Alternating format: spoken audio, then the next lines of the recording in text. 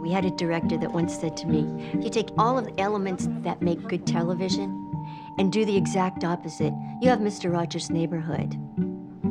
Low production values, simple set, unlikely star. Yet, it worked. Because he was saying something really important.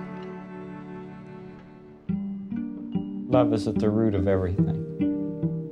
All learning, all parenting, all relationships, love or the lack of it.